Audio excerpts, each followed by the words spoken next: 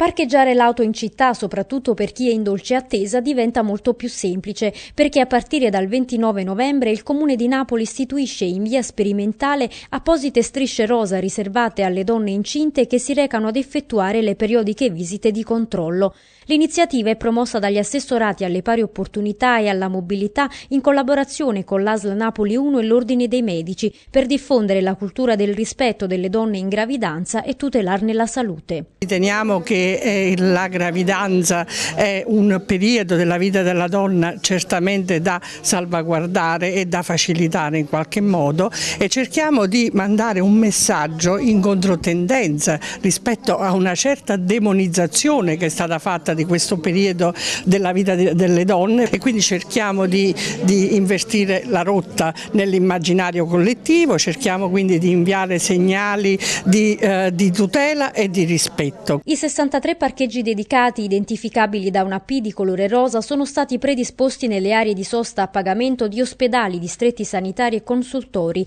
e sono riservati alle mamme in attesa residenti in città che abbiano fatto richiesta del contrassegno identificativo temporaneo presso l'ufficio centro donna e servizio contrasto alle povertà del comune. Il progetto, che potrebbe successivamente estendersi anche ai parcheggi di grandi supermercati e centri commerciali, si basa per lo più sul senso civico dei cittadini, poiché poiché questo tipo di sosta riservata attualmente non è prevista dal codice della strada. Sarà mia cura chiedere alla commissione parlamentare, alle commissioni parlamentari che venga cambiato in questo senso il codice della strada. Eh, in attesa che cambi il codice della strada, peraltro è una richiesta che hanno fatto altre città, non solo Napoli, eh, quindi si tratta di un gesto di cortesia e chiedo quindi ai cittadini e alle cittadine che vedranno il parcheggio rosa di lasciarlo assolutamente libero proprio al fine di consentire l'utilizzo appropriato di questa opportunità che l'amministrazione comunale mette al servizio delle donne in gravidanza.